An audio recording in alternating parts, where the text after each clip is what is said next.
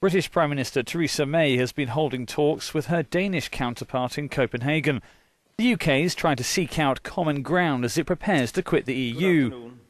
Speaking after meeting with Lars Løkke Rasmussen, May said, I want the agreement that we come to to reflect the kind of mature, cooperative relationship that close friends and allies have.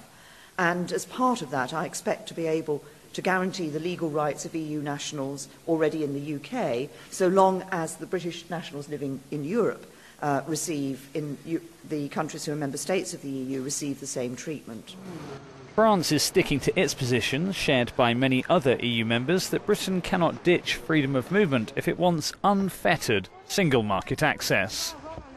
The negotiation should be as cooperative as possible, but there are principles. There are four big freedoms. Those four big freedoms cannot be separated, and they include the freedom of movement for European citizens. In the framework of this new geographic area, it's a fundamental freedom, and we can't give in regarding that.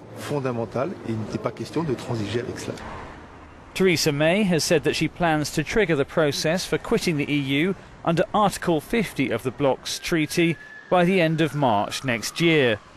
After that, she'll have two years to settle Britain's divorce from Brussels.